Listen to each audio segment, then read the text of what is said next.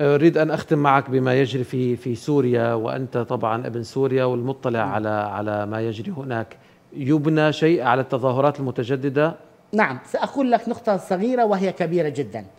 قيام أهلنا في السويداء أو في الساحل السوري بمظاهرات ضد النظام أو حتى في مناطق المسيحيين في سوريا بمظاهرات سلمية ضد النظام ورفع أصواتهم بإسقاط بشار الأسد هذا كأنه صواريخ ودبابات تصدر تجاه بشار الأسد.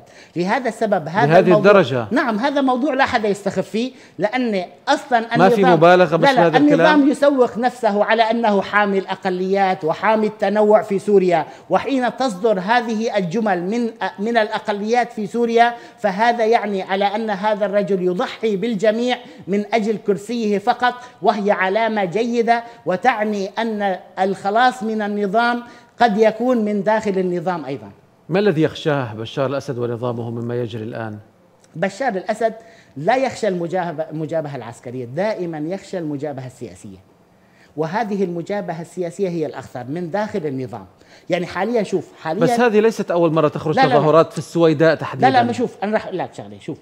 المظاهرات سابقا في السويداء كانت مظاهرات مناطقية لكن حاليا هي مظاهرات عامة وتنادي بإسقاط بشار الأسد. يعني كل أهالي السويداء حاليا ينادون. متى تتحول هذه المظاهرات إلى علامات أعلى؟ حين يبدأ دعم هذه المظاهرات من المعارضة الخارجية ومن دول اللجوء السوريين الذين يدعمون هذه المظاهرات ويدعمونها بالإعلام ويدعمونها بالدعم المالي والدعم السياسي وغيرهم، حتى الآن لم نصل إلى هذا المستوى، لكن إذا وصلنا إلى هذا المستوى خلال الأيام القادمة ولم تخذل هذه الإجراءات، نعم أنا أتوقع أن يبنى عليها شيء كثير خلال المرحلة القادمة. مشاركة رجال دين دروز بهذه التظاهرات ورفعوا على الأكتاف كما شاهدنا. نعم نعم. يعني هذه هذه المظاهرات آه، يعني بعثوا رسائل لإدلب بعثوا رسائل للشمال بعثوا رسائل لدير الزور لمناطق أخرى. هذه هذا كلام مهم ومخلق للنظام والنظام سيحتار كيف سيتعامل معه لأنه لم يتحضر لهذه الأمور. التوقيت مهم في مرحلة التطبيع مع النظام تأتي ثغرة جديدة في هذا التطبيع العربي مع النظام ويقول لهم النظام المجرم الذي تطبعون معه حاضنته الموجودة تحت سيطرته هي التي تقوم عليه حاليا هل هذا المسار يمكن أن يؤدي إلى أحداث تغيير في الداخل السوري؟ نعم أنا آه، يعني وذكرت هنا عدة مرات إضعاف كل القوى في الملف السوري من أجل تحريك انقلاب من داخل النظام وهذا سيحصل اجلا أم عاجلا؟ يعني هذا بشار الأسد سيدفع ثمن هذه الدماء البريئة إن لم يكن الآن فقريبا. كيف يعني انقلاب؟ مع وجود انقلاب إيران؟ من داخل نعم مع نعم. وجود مع الإيراني وجود والروس. مع وجود روسيا مع وجود كل الدنيا سيتم الانقلاب على هذا النظام من الداخل لأن هناك فئة لن تضحي بنفسها من أجل بشار الأسد. انقلاب عسكري؟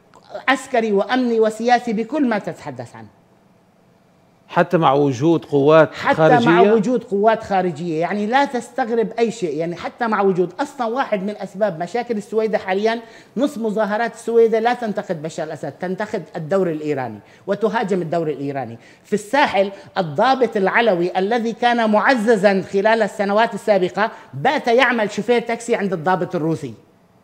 هؤلاء لن يسكتوا على هذه الأمور، لهذا السبب نعم أنا أعول على هذه الأمور وأعتبرها مهمة جدا.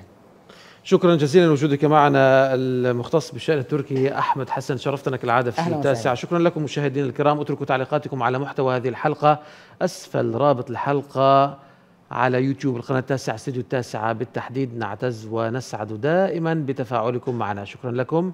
دمتم في أمان الله.